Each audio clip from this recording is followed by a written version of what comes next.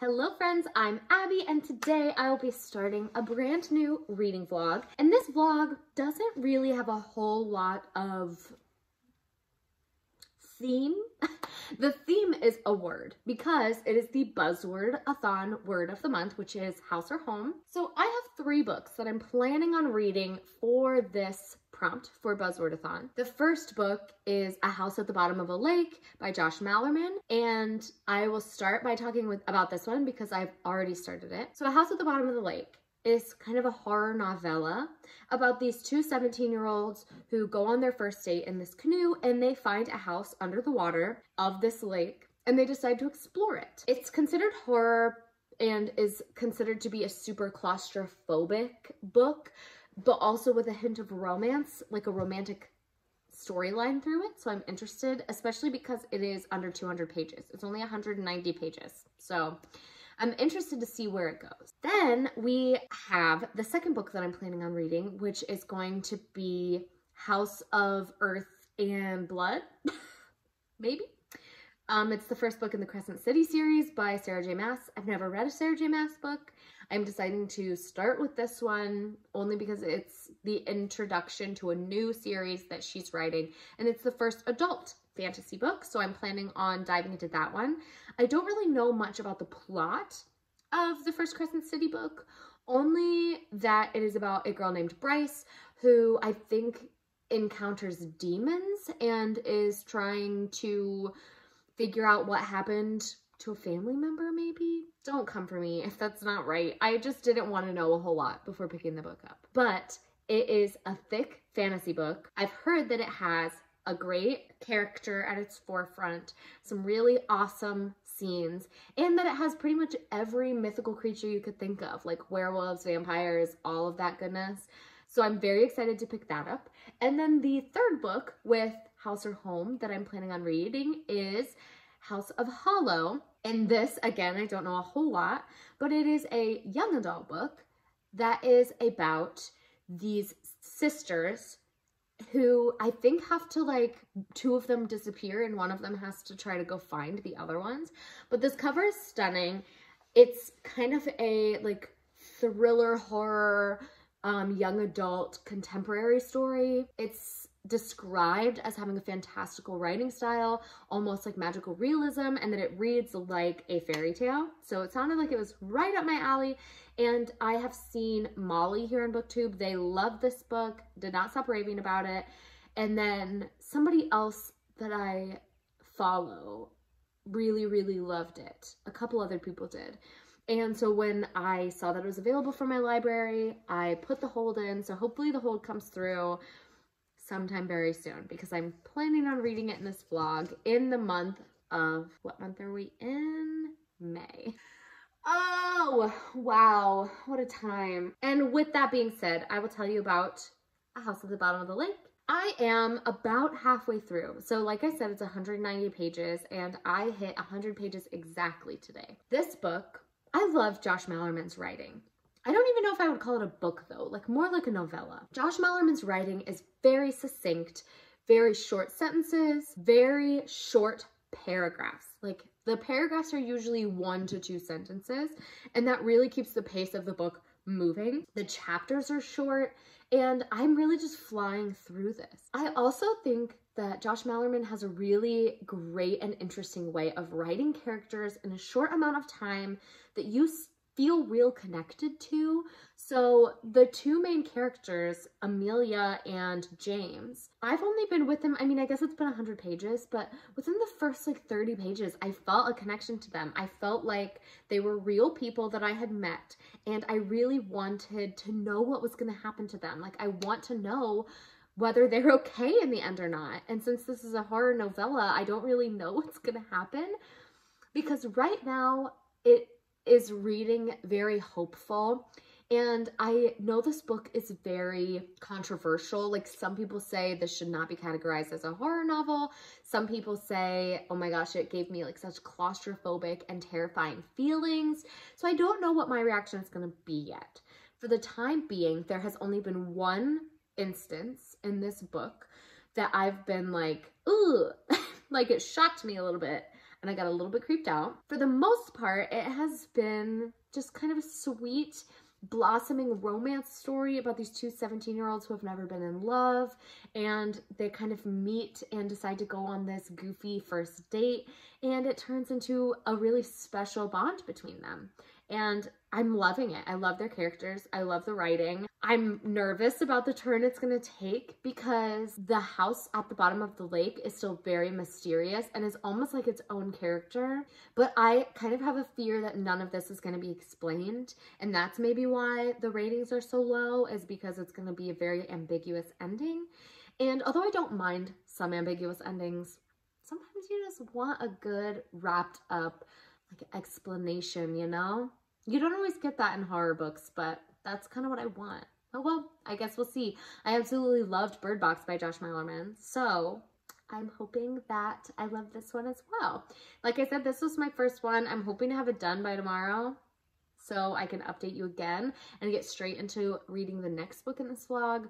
But for the time being, I have to go unpack some of these boxes and hopefully paint a couple rooms. That our whole house needs painted and I'm procrastinating. Okay, I have to go do something. I have to. Hi, I have chosen another equally messy, equally inconvenient location to film today. But that is the glory of moving, is you just find the least inconvenient spots to film your updates. And I do have an update for you because I have finished A House at the Bottom of the Lake by Josh Malerman. And I am very conflicted because part of me absolutely loves this and part of me is very confused. And I often feel this when I read books that are supposed to be very smart, that some people get and some people don't get. This is often how I feel. I often feel very, um, I think I get it, and then I'm like, oh, I enjoy it. But then part of me is like, but do I get it? And then I can't fully enjoy it because I need to know exactly what the author meant. And trust me, I already Googled it and the ending of this book is not explained anywhere. So let me, just let me try to sum up my thoughts. This book was fast paced. The writing was great. I loved a lot of the writing choices made. Like things, the way Josh Malerman phrased things was just really beautifully written and I thought that it made it very creepy and atmospheric. It felt very claustrophobic and I also thought that the play on words in many different situations was really interesting. I also loved the characters of Amelia and James. I think that their characters are gonna stick with me because they are just so quintessential images of 17 year olds in love. This book, the second half of the book, was definitely more of the horror aspect. It took a turn and got a little bit dark, it got a little bit creepier, and as it took that turn, they physically were more in dark and more creeped out as characters. So I think that the way the book follows that pattern was really, really nicely done. And I think that after sitting with the ending of this book for, I finished it on my lunch break. And so sitting with it for the rest of the day, basically the rest of my work day, I definitely feel like I get it. like I get the point and the perspective of the author when writing this book. And I really like it, but because it was so short and because I don't know that that was the intention of the author, I don't know what to rate it. I never know what to rate books that are this short because it's almost like it's not a normal book, you know? Like it it doesn't have the world building and all that kind of stuff, but it kind of does in like a shorter, more compact way. So I'm not really sure what I would rate it, but I would say definitely in the four star range. Like I was, I thought it was really enjoyable. If you haven't read this book or this novella and you are planning on reading it, I'm gonna tell you what I think the book is about and what I think the explanation of the ending is. If you don't want to know my thoughts before reading it, I will put a little spoiler thing right here so that you can kind of skip past it. I think that this novella really encapsulates the idea of that obsessive teenage love, that teenage romance that just is on the verge of obsession And I think if you have been in a relationship like this or you have been a teenager in love, you know that experience where you're you always want to be around them. You feel that constant drawing back to them. You feel like you can't survive without them and then even when you're not with them, you feel that aspect of them, the themness of your relationship kind of pushing in on you and taking over everything. You, in fact, you start to become like a different person. That obsessive teenage love, first of all, is just directly kind of explored in the relationship between James and Amelia because they are so, they fall in love so quickly and they fall in love in this like passionate, exploration, adventurous way. I think that the house at the bottom of the lake is this kind of dark and scary abyss of like exploring that deep obsessive relationship. The house is representing that relationship. It's calling them back. They can't escape it. When they try to leave the house, it's like it follows them. The water shows up in their room. And when that happens in the book, they call each other and they meet back up and they decide to go back to the house. So I think that that is very clear. Now, the ending. At the very end, they are exploring the house and they basically say hello to the house and the house disappears. And as soon as they make themselves known in the house, they introduce themselves to the house, it goes away. And I think to me, this was the magic of that obsessive relationship. You know, when that honeymoon period starts to end and you really have to start like facing the hard questions and facing the hard things, the hows and whys, if you will, the house disappears. The fun, dark, adventurous, obsessive thing that was keeping your relationship alive disappears and you now have to decide whether you're gonna sink or swim. And then at the very end, they find the physical manifestation of this house. And this is where I get a little bit confused because everything up to that point I feel is so thoroughly explained.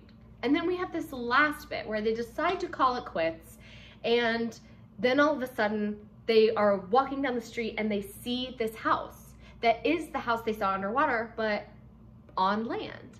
And I don't really know what to make of that. Part of me thinks that it could be an exploration of them like circling back, finding new ways to like create the obsession. Or I think it could be kind of this evolved relationship. They've grown up a little bit and decided not to um, pursue this obsessive path.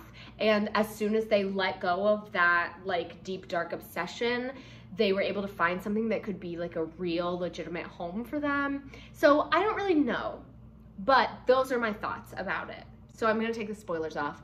Ultimately, I recommend you read this. It was short, it was fast paced, and I thought that it gave me a lot that will stick with me. So I highly recommend it. If you like horror-ish romance-ish, kind of confusing novellas that are fast-paced and quick to read, I recommend it. I am not going to be reading for a little bit. Um, I probably won't check in with you for a few more days, only because we have to paint this whole house. And I didn't realize how much work that was gonna be. And the next book I'm reading is House of Earth and Blood by Sarah J Maas. It is 700 pages long. I probably won't start that until this weekend and it is currently Wednesday. So I'm going to go to the store, get some paint, get our paint supplies ready so that I can start painting this house tonight. And then hopefully I'll have some time to read this weekend and be able to update you. So I will see you the next time I have something to say.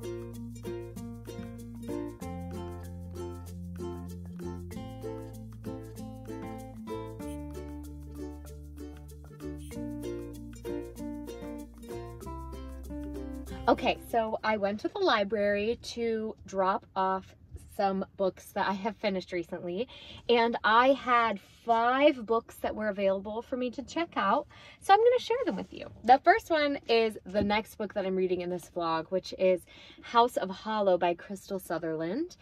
Um, I'm very excited about this, so I wanted to make sure that I had it on hold from the library so that I could read it as soon as I'm done with Crescent City. I picked up Nevermoor the Trials of Morrigan Crow, which is a middle grade, a start of a middle grade series where the first three books have come out. I really want to catch up on the series before the next book comes out. So I figured if I start it, like try to get one done each season, then I will be caught up because I think there's three books that are out in this so far. Um, I also got Witches Steeped in Gold, which is a new release. This is a thick book. It's like over 500 pages. It's big. It's a big one. I also got Amari and the Night Brothers, which is another middle grade fantasy, and I believe the start of a middle grade series. It's new this year, or it came out in 2020. Very recently it came out, but I'm very excited to pick this up.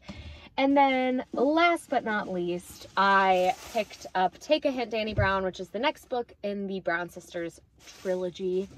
So I picked up these books I'm headed home and then I plan on sitting down and reading for a little while before Brent and I go on a date night. I also wanted to update you on some of my house my house details. The first detail being that painting has really just taken over my life recently. I'm so sick of painting. We ended up having to paint all of the doors in our house, like every door, including the closet doors. They just were so shabbily painted that I needed to touch them up.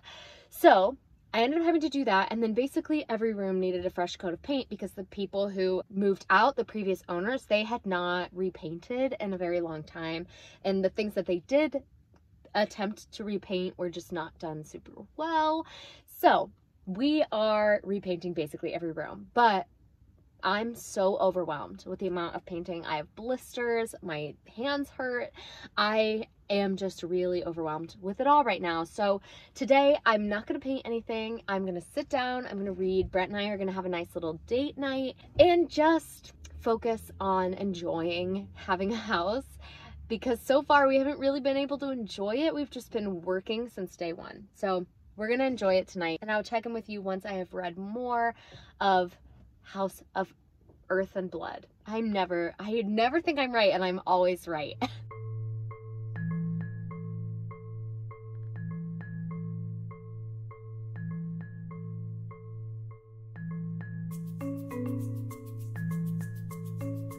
I am ready to update you about Crescent City because I decided what I'm going to do is I'm going to split this into like four updates because this book is almost exactly 800 pages long. So I'm going to update you like every 200 pages. And now that I'm 200 pages in, I feel like I can tell you what this book is about, which I may or may not have mentioned that this book is my first introduction to Sarah J. Maas. So I have never read her Throne of Glass or Court of Thrones, Throne and Roses series, which are both young adult. This is adult. There's a lot of swearing. There's a lot of sexually explicit discussions. Nothing explicit so far. But also from what I hear, A Court of Thorns and Roses is considered new adult and is basically just adult because it's super steamy and explicit. So take take that as you will. But this book, I'm 200 pages in, and this book is about Bryce Quinlan, who is half fae, half human. So she has fairy blood, but is also human. And it's in this world that has all of ma the magical creatures you can think of. There are angels, demons, there are gods, there are werewolves and shapeshifters, there are vampires, really just anything you can think of. And Bryce is best friends at the beginning of the story with Danica, who is a werewolf or like a wolf shifter. So some crazy, crazy stuff happens. And ultimately, Bryce is being used in this book, especially in the first 200 pages. So far, she is being used as kind of this investigator of a murder mystery. We love it. There's magical stuff happening. There is a missing artifact because Bryce works at this like artifact business where they find an antiques and she is kind of the person who goes out and sells the antiques but also helps find them for her boss. So it's very, very interesting. The writing is super fast paced and very interesting. Like I feel connected to the characters. I feel like so much is happening and that 200 pages went by so quickly. Like I just feel like I just started the book and I'm already 200 pages in, but I'm absolutely loving it. And we've been introduced to two other POVs in this book. There is Hunt, who is an angel who is basically being used as a slave for the governor to find and kill basically anybody that he says he has to find and kill. A lot of tea, a lot of tea going on in this. But ultimately, it's action packed, it's fast paced, it's gory. There is murder, there's mystery, there's romance steaming. I can feel it. And there's also just magical characters all over the place, just like a ton of magical characters that I absolutely love. So I'm truly enjoying this a ton. And all I want to do is keep reading because I really just want to know what happens. So I see good things happening in this book for me, especially because I read 200 pages and not once was I like, mm. it's like it started strong. It has continued at that level. I am so excited to see where it goes from here. A little plant update so you all can see how my fiddle leaf fig is doing we had to do some trims. As you can see, there were a lot of like brown spots and really the only way we could find online to help the plant was to cut the brown spots off. And we also trimmed, it was a little top heavy, so we trimmed the top off of both sides. And so far in the last year or so, it's grown a ton. Basically of everything on here right now was a new leaf that grew in the past year, but it grew all of these little leaves in the past few months. And then since we moved into the house, it's grown new little leaves down here at the bottom. They're so tiny. You can see, and you can see this new one is just blossoming. And maybe another little stalk was growing right there. And then we of course have my Devil's Ivy is really thriving. It's really easy to take care of those. But then we also have my snake plant, which I almost got rid of because it was starting to look a little withered, a little old. And you can see like a little tired, but it grew this little tiny snake plant that's really thriving and getting bigger every day. So now we are trying to take better care of it um, so that we can help it keep growing. But that is my little plant update. They're happy. They haven't found their home yet because as you can see, it's still super messy in here. But as soon as we have a home for them, I'll get them all set up. Hello, let's do an update because I'm halfway through House of Earth and Blood, Crescent City number one, and I'm obsessed. I'm 400 pages in and honestly, if I could make this book last forever, I would. I'm so terrified of the next 400 pages because I don't want to stop reading this book and the next book in the series doesn't come out until like March of next year. How have people read this book and they're just like waiting for the next book to come out? I don't understand. And I'm only halfway, so I can't even imagine what the rest of the book is gonna bring me. So let's talk about things I'm loving about this book. The mental health representation. Both characters in this have extreme PTSD and trauma going on in their lives and they experience so many like highs and lows that a lot of characters in fantasy and in books experience, but they don't ever really dive deep into what it means to experience those lows and like kind of the things that people do to cope with those low moments to get out of them. And we have seen Bryce have multiple panic attacks where Hunt, because he has been through trauma as well, understands how to help her get out of them. it's so stinking cute. Like this supportive relationship of two people who have been through things that are extremely traumatic, extremely traumatized, and whose society for both of them has a very negative view. Like everyone views Hunt as this demon god of death. Like they literally call him like the shadow of the night and all of these like dark things because he's known for the horrible things that he has to do because he's a slave and he's doing the bidding of the governor. And then Bryce is known as this like stupid, vapid party girl who all she cares about, they call her mean, mean names referring to the fact that she sleeps around. This is what everyone thinks about her. And she kind of, really both of them are doing this thing where they put up a front like they are the people that society thinks they are and they're really not but they want people to think that way about them because they both have such negative views of themselves that it's they're basically trying to push everyone away so that no one gets too close.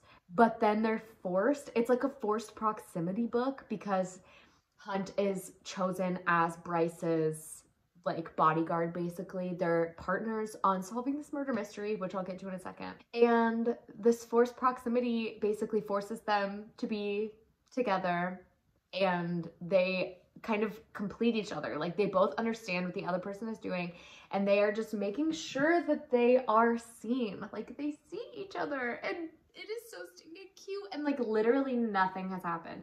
The most that has happened in these 400 pages is a thigh touch a thigh touch.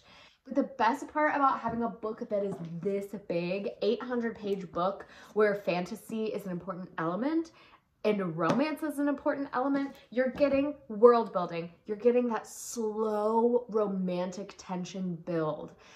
And you're getting an interesting story because I'm fully invested in Hunt and Bryce's relationship, even though nothing has happened yet. And to be honest, I'm assuming something happens because it's a romance, but I don't know that it'll end happily because there's a lot of this isn't a romance novel, which you know ends happily. And there's been a lot of hints that something crazy is gonna happen and that they might not have a happily ever after. And I will riot. I will riot. But I love the world building. It's so innovative and I love the combination of all of the different types of creatures kind of working together in this city, but also there's so many like political lines being drawn and a lot of power hungry people who are really challenging each other and pushing those boundaries. But on top of that, this almost reads like an urban fantasy, which means that it's set in the real world because this is like maybe the first fantasy I've read that is set in a completely fictional world where they have all of the technology that we have in current day. So they have cell phones, they have camera footage, they have, you know, government things that are listening to you. Just very fascinating and interesting elements to add into this fantasy world and to see who is controlling all of those things. Like who's the top dog. And especially with this murder mystery, we're getting to see basically like what a modern day murder mystery, what the process would be to solve that. But we're seeing it in a fantasy world, which is so amazing and beautiful. And I'm just obsessed. And I have no idea. I know some of the connections. Like I have a few theories for this murder mystery, but we're already halfway through. And like what I thought was going to be the solving of it has like just come up. And I'm like, there's no way. There's 400 more pages of them trying to find this person. There's freaking demons that are killing people. It's gory. And there's a lot of discussion about how both, for both Hunt and Bryce, these murders and this murder mystery is bringing up a lot of negative stuff for them. They're really dealing with it. But anyway, I love the writing. I think it's fast paced. It's keeping me hooked. I want to keep reading. I'm terrified this book will end because I think I will be in a low, low emotional point when this book ends. And I haven't felt that way about a book in a long time where I'm just really connected and I think about it all the time. And I wish I lived in it. It's really good to have this feeling. Uh, house update. Let's give you a fun house update. Um, I haven't done much. I have unpacked a lot of boxes today, which was really my goal. We took a couple days off so I'm back today with working on the house and like trying to get things done. So I've unpacked quite a few boxes that were just kind of sitting around. But we're getting to the point now where a lot of the things I'm unpacking are like decorations and the rooms aren't painted. So I can't decorate the rooms. I can't hang stuff on the walls. So I'm at the point now where I think this weekend we're gonna have to paint. It's a Friday, by the way. I don't think I told you, but I think this weekend we're gonna have to finally like buckle down and actually paint some rooms. We've been trying to avoid it because we did so much painting early on, but we're gonna have to paint. So that's where we're at. Um, I'm tired. I don't want to do any more housework, but we have fun plans for this weekend and like other things we have to do, like go clean our old apartment. So I basically, if I want to get work done, I have to do it tonight. Like that was our plan, was to work hard tonight. So I have to get back to it. It's been a day.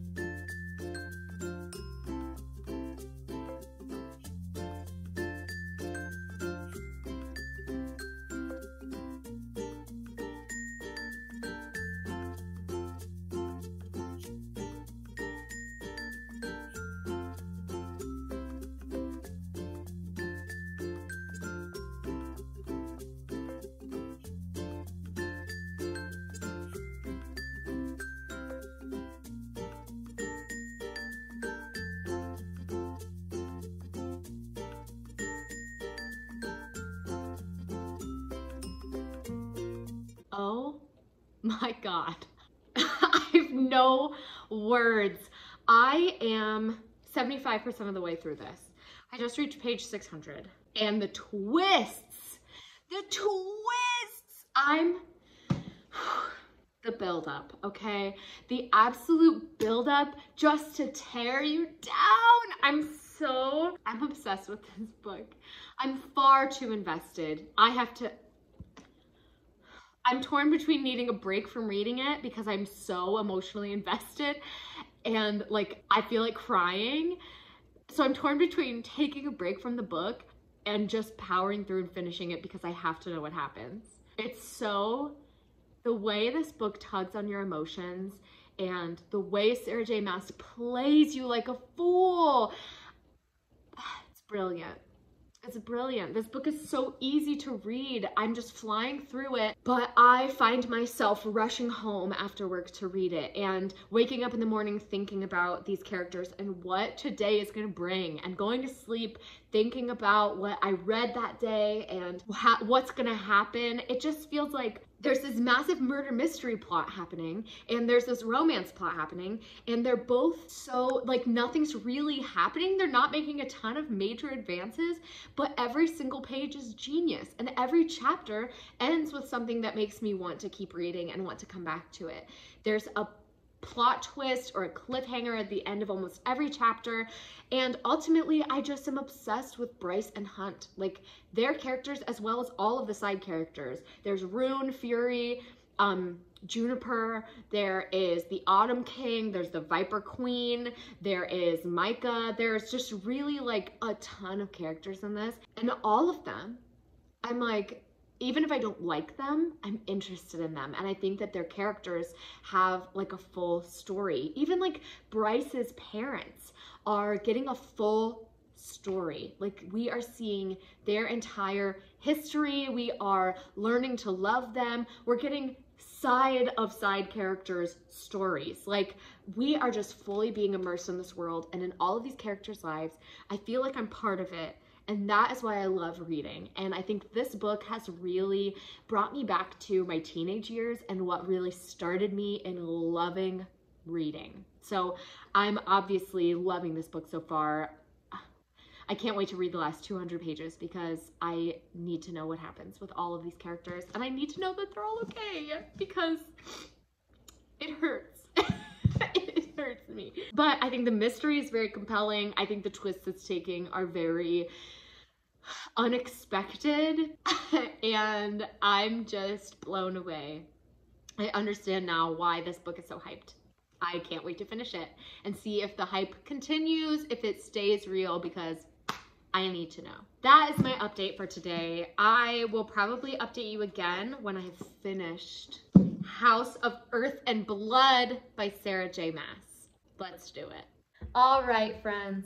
I have finished Crescent City House of Earth and Blood.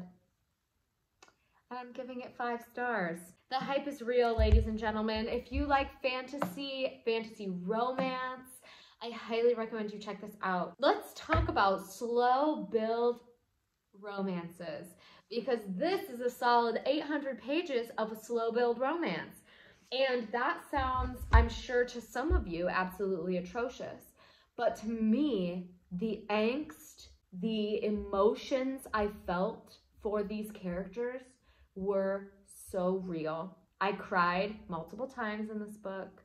I smiled. I just cheered for every single character in this book. And Sarah J. Maas, I think I'm going to check out the rest of her books, but from what I hear about her stories, I think that she's going to start to become a comfort read author for me because it does have kind of that comforting vibe to it. Like when you're reading it, it feels like coming home. It feels like reading something that you things are super tense and every moment my I couldn't breathe and my heart was racing, but I still felt like in the end it will all come together and like it will be okay. Not that I'm saying that that happened in this book, but that's how her writing feels. Like I feel like she, even though she sets you up and like tears you apart, in the end, like I trust her as a writer. I trust where she's going. The twists it took in this, the way that the twists all tied together at the end, there were moments where things came back at the very end that I was like, oh shoot, I totally forgot that that happened at the beginning, which is the joy of a long book, is you forget some of the like little bits and pieces. The way the mystery turned out, the way the romance played out, the way the relationships in this book were handled, both romantically, sibling, friendship, um, parental, literally every relationship in this book was explored and it was stunning. Five out of five stars. I cannot wait to read the second book. It comes out, I don't know, sometime next year. And I absolutely will be pre-ordering it because I need to know what's going to happen. And that brings me to the next book that I will be reading and the final book I'll be reading for this vlog, and that is House of Hollow by Krystal Sutherland. I have been hearing fantastic things about this. However, I have also seen some people get their hopes really high and putting way too much hope into this book being amazing and then they're disappointed. So I'm going in with like medium levels of expectations because it's a YA horror or thriller-esque with a little bit of fantasy. So that's not necessarily YA horror and thriller is not always my jam. So I'm already a little bit skeptical. I've heard good things, so I'm excited to pick it up. And this book just sounds really fascinating and looks super gory and interesting. So this book is about Iris and her two older sisters who as children are kidnapped, I believe, or they disappear. And then when they come back, their appearance changes. So they come back with blonde hair and blue eyes, even though they left with brown hair and brown eyes. And so they kind of are just like from that point on a little bit off, a little bit weird.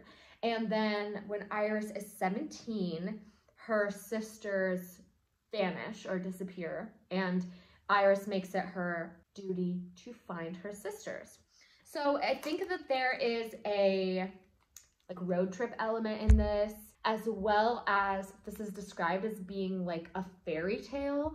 So I think it's gonna have a lot of like cottage core vibe, like outdoorsiness going on. And I don't know if you can tell, but there's ants like on the cover and look like in here. And those keep freaking me out because they're so realistic that I keep thinking ants are crawling on my book. So I'm already like a little, like a little creeped out by this book.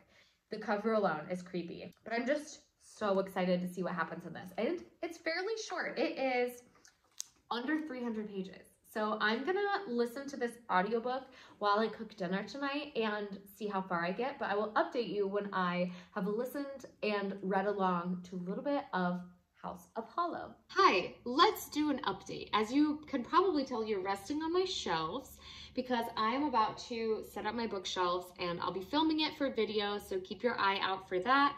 But I wanted to update you that I am about a third of the way through House of Hollow. I am 106 pages in. And wow, is this taking turns I didn't expect. It is very weird but beautifully written and very dark for a young adult. There's definitely, there's more gore and like more horror than I expected so far, but it also is simultaneously reading somewhat like a contemporary young adult story just because there's like mean girl drama at school. I don't know, it's very interesting. I do have like a corrections corner for all my my favorite murder friends out there, I have a corrections corner about this book because I just gave some details that I thought were correct and they were not. So first of all, in this book, only one sister goes missing. The oldest sister goes missing, not all three, or not the two oldest. And the two younger sisters, Vivi and Iris, are looking for their sister Gray. So the two of them are teaming up to find their sister. And I think I said that they went from like like brown eyes to blue eyes. They definitely go from blue eyes to black eyes, which is way scarier. so I just wanted to correct that.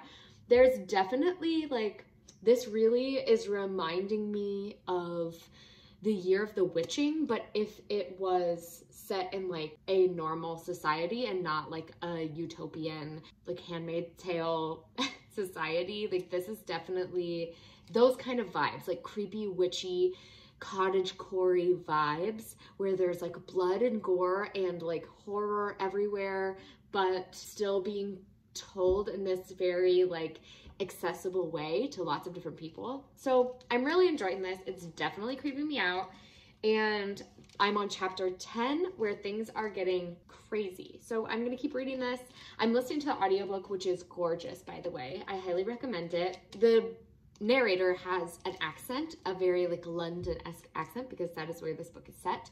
And the way she narrates the main character Iris and Vivi, like the way they're narrated is just so beautiful and I absolutely love their voices. So I'm going to keep reading this today and listening to it on audiobook while I do some housework because gosh, do we still have a lot of housework to do.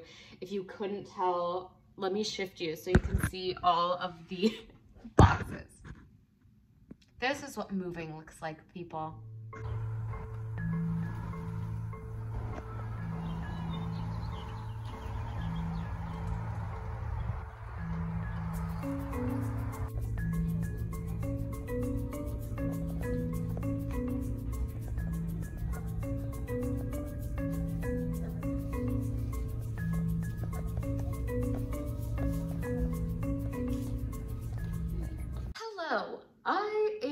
Two thirds of the way through House of Hollow. I'm on page 205. And boy, is this book weird. I'm loving it. It's very, um, it's more fantastical than I expected. I guess I knew that it was fantasy, technically, but it's categorized first as horror, which I think is absolutely true. It is creepy. But I didn't expect the fantasy elements to be so interesting to me. Like, I'm just so curious as to how this world is working, and we're finding out very slowly. It's like very slowly unraveling what is going on, where these girls went when they were kids, when they disappeared, why they are changed now. And there's just a lot of like unexplained stuff. There are some really creepy things happening with bugs and with flowers. It's really just beautiful. It's fantastic right now and I'm loving it. I'm very tempted to just keep reading this and to finish, but as you can see, I didn't set up my shelves and I need to do the laundry, do like regular chores in addition to setting up the house. So what I think I'm gonna do is take a break, do some chores, and then I'm gonna get back to reading this. And I'm hoping, fingers crossed, to finish this book today. You might have seen in my last clip that I went to Barnes & Noble. So my um, anniversary present from Brent was a trip to Barnes & Noble and a gift card. So I spent my gift card. I had a fantastic time walking around Barnes & Noble. It was amazing. And I spent my gift card on two books. So the first book I got was Every Heart a Doorway by Seanan McGuire. This is so small, so much smaller than I expected. But this is the start of a young adult fantasy series that is kind of, the blurb is what happens after Ever After. It's basically about kids who are part of fairy tales, they travel to another world, and then when they come back to the real world and are struggling to adjust to being back in the real world, um, they go to this place, I think it's called Eleanor's Home for Wayward Children. It doesn't say on the back, but that's what I think it's called. And they kind of recover there. But I've heard only fantastic things about this. So I had to pick it up. And then I grabbed The Ones We're Meant to Find by Joan He. And this, I've started this from the library and I already really enjoy the writing. So I decided it's so beautiful, I'm just gonna buy it. The cover, I don't know if you can tell, is like a shimmery kind of um, like pearlescent texture. And I honestly was really sold by the end papers. Absolutely gorgeous. And then we have this beautiful rose gold um, hardcover foil design. Absolutely stunning, absolutely gorgeous. And this book is also, interestingly enough, about sisters who are trying to find each other. So this is about K and C who are separated and it's not really explained how, but K is, C is looking for her sister K and C is stranded on an island and has been for a very long time and she is trying to find her sister, but she has no memories of how she ended up there and what is going on. So she's really struggling with trying to escape this island. She doesn't really know where she's going. She just knows she has to find her sister. It's like a sci-fi fantasy. There's floating cities. It's, I think, like a little bit of a climate change story. Yeah, so on the back it says, in a climate-ravaged future, the love between two sisters is the only hope for humanity's future. This is sci-fi at its best, floating cities, kindness, and desert islands. What else do you need? So I picked this up as my other book. So I am going to go do some chores and then maybe finish this today. Um, next time I check in with you, I'll have finished this book and wow, I'm so excited. Okay, so I finished House of Hollow by Krystal Sutherland and I think I'm gonna give this, I don't know, three and a half or four stars. So let me tell you my thoughts. I enjoyed the writing. There was nothing necessarily wrong with the writing. It was very flowery, it was very dark, and I enjoyed a lot of aspects of this book. I really loved the creepy, otherworldly vibe. The fairy tale vibe of this book does come through pretty strongly. I didn't necessarily like super connect with the horror aspects. And I don't know if that's because this was young adult and I don't read a whole lot of young adult horror and maybe I just wasn't sure what to expect. But it did feel very young adult to me, although I was very pleased and like pleasantly surprised by a lot of things that did happen in here.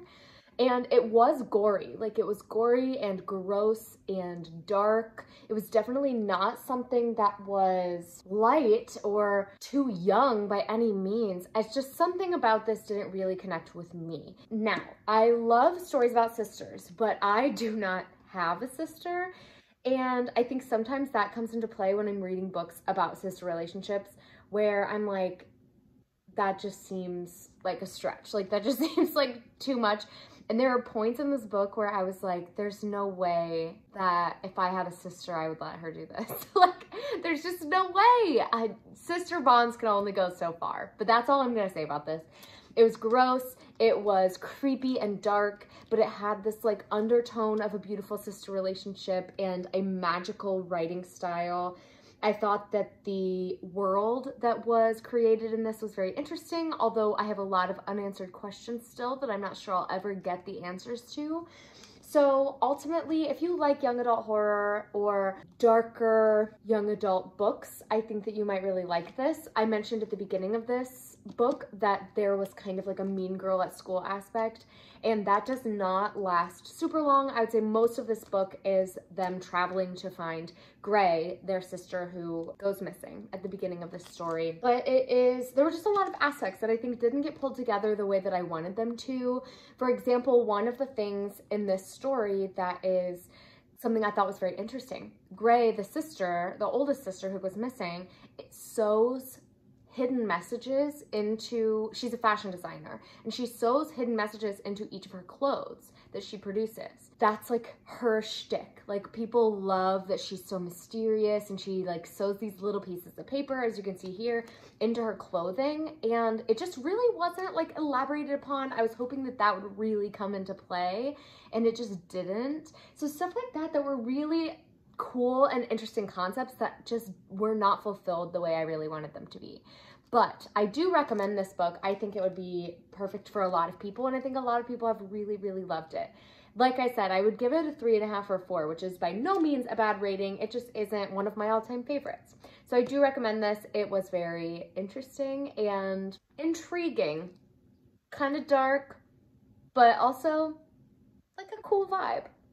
I don't know, like like a chill spring, like death in spring vibe. So that brings me to the end of this vlog. It's probably a very long one.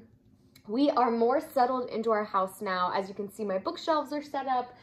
The rooms are still being put together, but the walls are painted for the most part, and we're doing some landscaping outside. So ultimately, we're getting the house together, and I'm just so happy to be in our new home. So I hope you enjoyed this vlog. I will real quick tell you the two other books I read in this vlog were House at the Bottom of the Lake by Josh Malerman, and this is like a novella. I gave this four stars, although thinking back, it might be more of a three and a half. And then my favorite book of the vlog, hands down, Crescent City, House of Earth and Blood by Sarah J. Maas. I will never forget about this book. I will love it till my dying day. I'm trash for Sarah J. Maas, and this is my first one, so I can't wait to pick up more by this author. However, I would recommend all three of the books that I read in this vlog to anyone. Well, not to anyone, but if you're somebody who you think you might like these books, I recommend them to you. So thank you all so much for watching. Please like, comment, subscribe, share this video with anyone who you think would enjoy it, and I will see you next time. Bye, friends!